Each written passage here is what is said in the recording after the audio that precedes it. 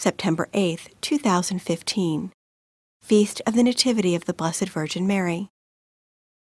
A reading from the book of the prophet Micah.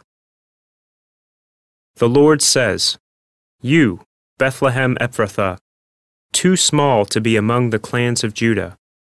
From you shall come forth for me one who is to be ruler in Israel, whose origin is from of old, from ancient times. Therefore the Lord will give them up until the time when she who is to give birth has borne, and the rest of his brethren shall return to the children of Israel.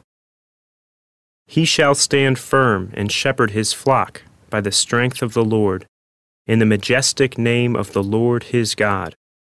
And they shall remain, for now his greatness shall reach to the ends of the earth. He shall be peace. The word of the Lord. The responsorial psalm. The response is, With delight I rejoice in the Lord. Though I trusted in your mercy, let my heart rejoice in your salvation. With delight I rejoice in the Lord. Let me sing of the Lord.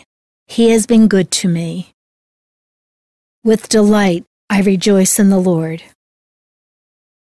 A reading from the Holy Gospel according to Matthew. Now, this is how the birth of Jesus Christ came about.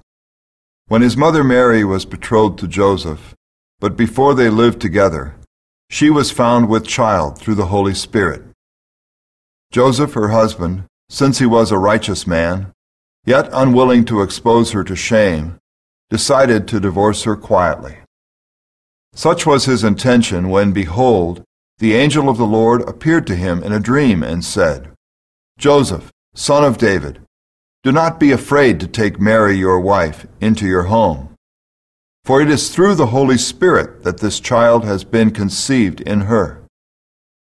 She will bear a son, and you are to name him Jesus because he will save his people from their sins. All this took place to fulfill what the Lord had said through the prophet. Behold, the virgin shall be with child and bear a son, and they shall name him Emmanuel, which means God is with us. The Gospel of the Lord.